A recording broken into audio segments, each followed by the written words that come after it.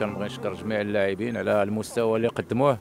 آه الحمد لله كنظن بان فريق الوداد الرياضي الفاسي نزلنا فريق اللي من العيار الثقيل فريق الرجاء البيضاوي اللي معروف على الساحه الوطنيه ولا الساحه الافريقيه ولا العالميه. كنظن بان اللاعبين ديال فريق الوداد الفاسي ديال التحضيرات اللي حضرنا منذ بدايه الأسبوع كنا عارفين راسنا بان اللاعبين مع فريق اللي في المستوى. الحمد لله قدمنا عرض اللي كيرضي المستوى ديال الفريق الطموحات ديال فريق الوداد الرياضي الفاسي. كنشكر جميع اللاعبين على الانضباط ديالهم على القتالية. الحمد لله ربحنا لاعبين شباب اللي غيقولوا الكلمة ديالهم وشرفوا القميص ديال فريق الوداد الرياضي الفاسي. كنظن بأن درنا واحد visionnage مطول على فريق الرجاء البيضاوي. عرفنا المكامن القوة ومكامن الضعف. يعني لقينا صعوبات في الشوط الأول.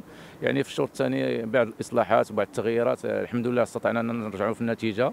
يعني كنشكر جميع اللاعبين على على الانضباط ديالهم وعلى العمل اللي قاموا به طيله المسار ديال المقابلة. يعني غنساو دابا مقابلة الكأس؟ عندنا المقابلات ديال البطولة فريق الوداد الرياضي الفاسي l'objectif ديالو هو يحقق الصعود.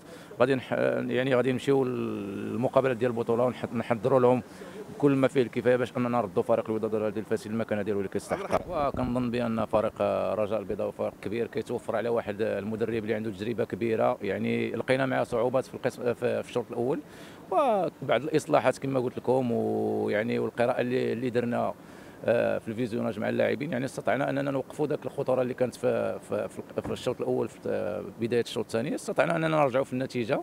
وهذا كيدل على أن فريق الوداد الرياضي الفاسي كيتوفر على لاعبين اللي في المستوى وغادي يقولوا الكلمة ديالهم إن شاء الله في المستقبل.